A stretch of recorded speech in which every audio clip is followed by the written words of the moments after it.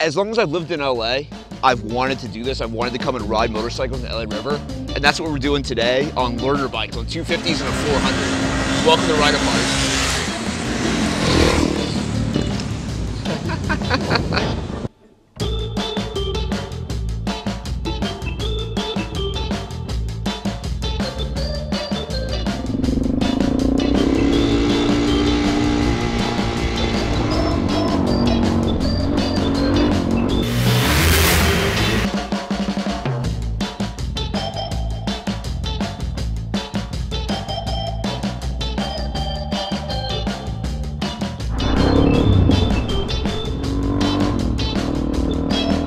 All right, so we, we, we, we've set out to assemble three really solid first motorcycles. The whole idea here is that either three of these would be a great first motorcycle.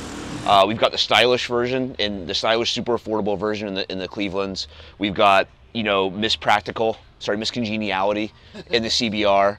Uh, and we've got like the Hooligan in the, uh, in the DRZ.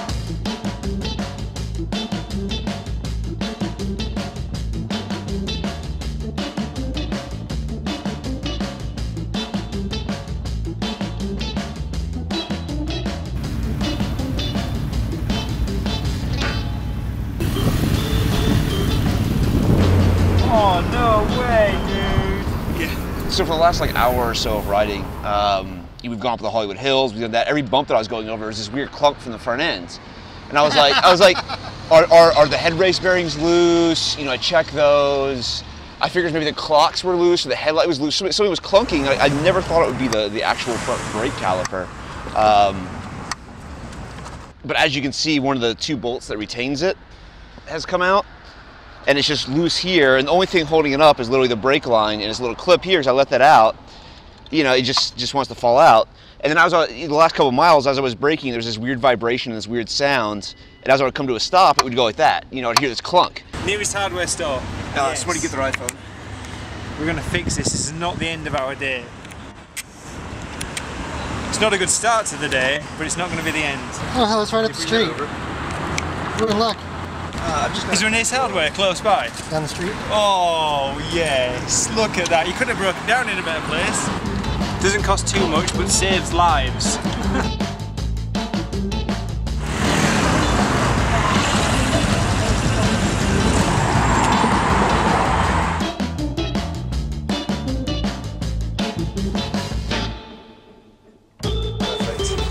One size fits many.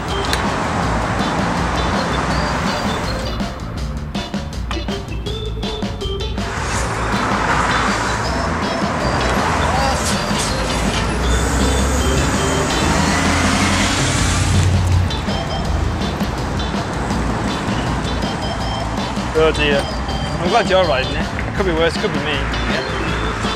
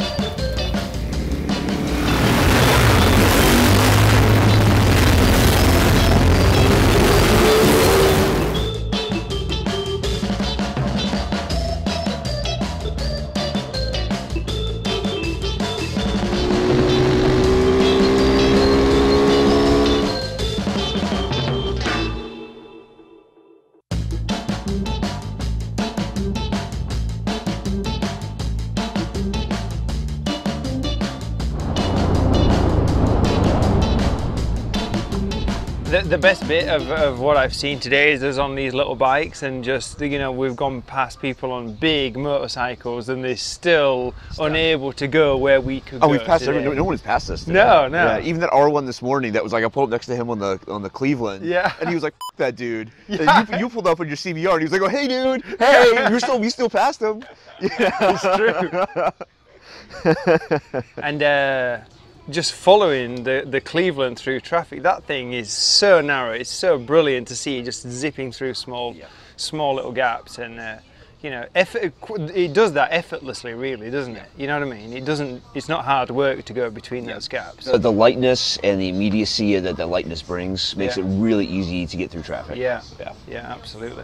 And the brakes don't seem so bad. I mean, you've stopped pretty quick. Well, I've got brakes now. Yeah. So that helps. You had a moment there. the, the, the, the, the brakes aren't terrible. They just, you know, it's, it's not as fully realized of a product as the CBR is. Yeah. I've been pretty impressed with the with, with the CBR 250 though. I mean, I, if I was a you know 17, 18 year old kid, that would be just like the perfect motorcycle. It's a it's a fantastic bike. That, that literally is probably the most complete motorcycle in the market right now, which is saying a lot for four thousand two hundred dollars. Right, thousand dollars more in the Cleveland, but you get a lot more motorcycle.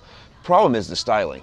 You know, this it looks like a sports bike. It's called a CBR. Yeah. That Cleveland looks like a cafe racer, and it looks that's a nice looking classic style motorcycle. This thing looks like it, it looks like 1990s like you know like Spanish teenager would ride. Th- yeah, but that's what they've tried to do. I think they've tried to make uh, the the small 250 look like the Fireblade in just a hope that you know it will attract that audience. But, it's, you know, it's an international product. They make it in Thailand. They sell them in huge volumes in Southeast Asia.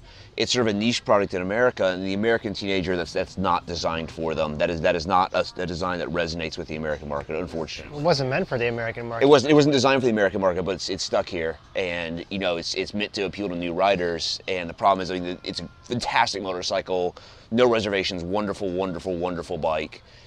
looks like it's herd. I have to say, you know, riding around the Cleveland today, I wasn't jealous of Jamie on the CBR. You know, you looked comfortable and competent and everything like that. You know, I was working hard. It looked like you were having fun. yeah. Every, every, everywhere I went, I was like, man, I just, I just, I just, I wish I was on the DRZ. There's a reason why I grabbed the keys this morning, actually. The way it handles, uh, the way it delivers power, the way you can move through traffic. I can stand up and I can actually look over cars if I need to. Um, and if I need to throw it into a corner really hard, it's got 17 inch wheels. I can obviously do that, no problem. And so it's just constantly moving. If you need to jump a curb, by all means, it's not going to have any problem doing that. It kind of encourages you to do those The, things. the problem with the DRZ 400 is that it really can make you do things you're not supposed to be doing. because it's still a dirt bike, it just has 17 inch rims on it with street tires, which means all the things that, it, that, a, that a dirt bike can do, it still does very, very well. And those things aren't really legal on the regular streets.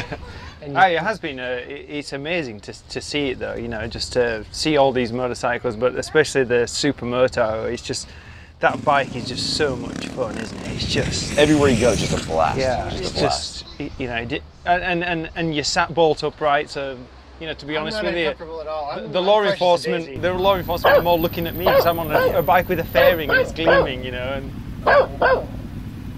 but you know, if, if you were just starting out motorcycling right now, and you know, these would be two really great options that would, you know, minus the, the DRZ, it's probably a, y- you need a little bit of experience to ride. It depends. If you're a bigger guy, then it's going to work really, really well. That's I, gonna I would, I would start on like the Cleveland, get to the point where I could absolutely rag that Cleveland, right? Where I was just running out of power everywhere, and then sell it, move up to a DRZ. You know, learn how to rag this 400, and then move up to a larger motorcycle, and then you actually be a good rider at that point. Yeah. You won't be one of these guys we see around town with a mohawk on his helmet.